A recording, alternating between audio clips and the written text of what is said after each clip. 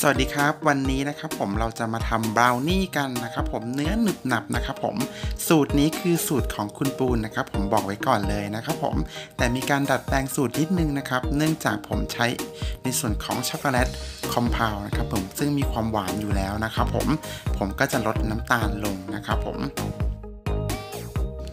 สูตรนี้นะครับผมแนะนำเลยนะครับว่าสำหรับมือใหม่ทุกท่านนะครับผมต้องลองทำเลยนะครับ ใครที่เพิ่งหัดทำเบเกอรี่นะครับผมบราวนี่สูตรคุณปูนี้ผมว่าทำออกมาต้องอร่อยทุกท่านเลยนะครับผม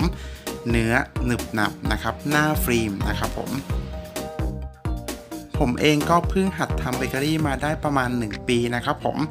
ส่วนบราวนี่ครั้งนี้ที่ผมทำเป็นครั้งที่ 2 นะครับผมก็ถือว่าออกมาใช้ได้เลยนะครับ เดี๋ยวเราไปดูวิธีทำกันเลยครับ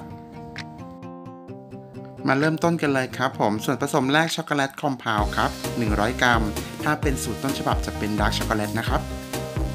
ส่วนผสมต่อไปครับผมเนยเค็มครับ 85 กรัมครับ ถ้าไม่มีเนยเค็มใช้เนยจืดก็ได้นะครับ ผมแล้วเราเพิ่มเกลือเอานิดหน่อยนะครับ เราจะนำเนยและช็อกโกแลตนะครับผม เข้าไมโครเวฟนะครับประมาณ 30 วินาทีนะครับ2ครั้งนะครับผมแล้วก็นำมาคนให้ละลายแบบนี้เลยนะครับ หลังจากนั้นครับผมใส่ผงโกโก้ลงไป 30 กรัมครับแล้วใช้ตะกร้อมือนะครับ ผมคนให้เข้ากันครับขอเพิ่มเติมการนำช็อกโกแลตเข้าไมโครเวฟนะครับผมเข้า 30 วินาทีแล้วนำออกมาคนนะครับ เสร็จแล้วก็เข้าอีกครั้งหนึ่ง30 วินาทีแล้วนำออกมาคนนะครับผม ตอนนี้ส่วนผสมเราเรียบร้อยแล้วพักเอาไว้ก่อนนะครับ มาเตรียมส่วนผสมต่อไปกันเลยครับ ผมไข่ไก่เบอร์ 3 3 ฟองครับ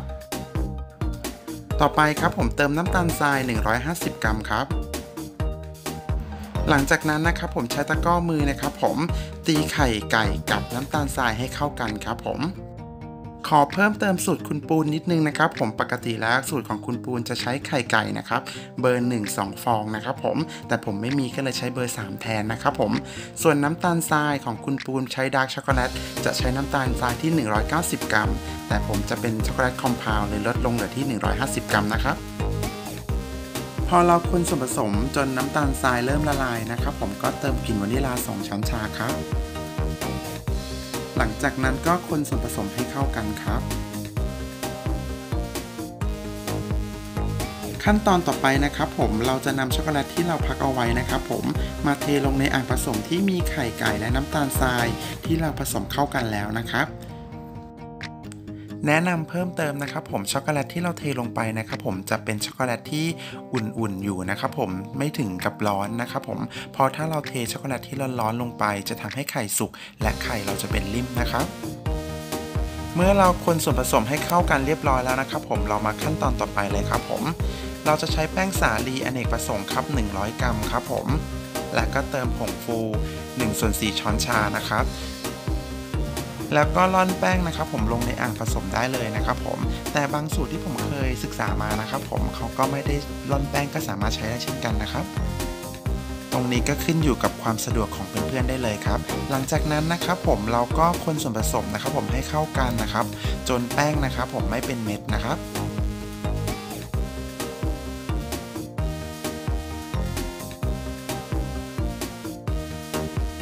เมื่อเราคนส่วนผสมเข้ากันดีเรียบร้อยแล้วนะครับ ผมก็จะได้ลักษณะประมาณแบบนี้นะครับ หลังจากนั้นนะครับผมเราจะไปเตรียมถาดกันนะครับผมในการใช้อบนะครับ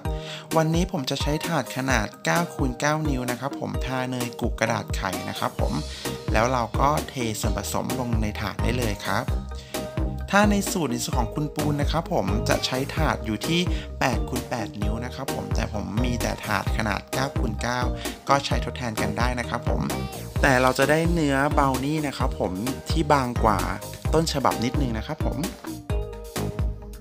อเราเทส่วนผสมลงบนฐานเรียบร้อยแล้วนะครับผมหลังจากนั้นนะครับผมมีเทคนิคดีๆ นิดนึงนะครับผม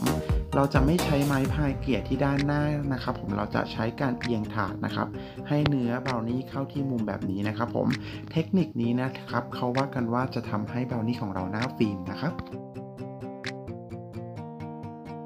หลังจากนั้นนะครับเรามาแต่งหน้ากันเลยนะครับผมวันนี้ผมใช้อัลมอนด์ slice นะครับผมโรยให้ทั่วเลยนะครับผมตรงนี้ตามชอบเลยนะครับผมการแต่งหน้านี่ขึ้นอยู่กับความชอบของแต่ละท่านเลยนะครับผม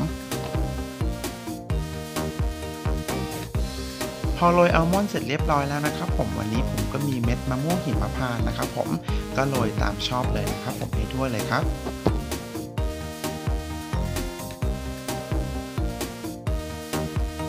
พอเราแต่งหน้าเสร็จเรียบร้อยแล้วนะครับผมเราก็จะได้หน้าเบลนี่แน่น ๆ แบบนี้เลยนะครับผมหลังจากนั้นเราจะนำไปเข้าเตาอบนะครับที่อุณหภูมิ 175 องศา เป็นเวลา 20 นาทีนะครับผมเตาแต่ละบ้านนะครับผมอุณหภูมิไม่เท่ากัน เพื่อนๆต้องหมั่นสังเกตเตาเราด้วยนะครับ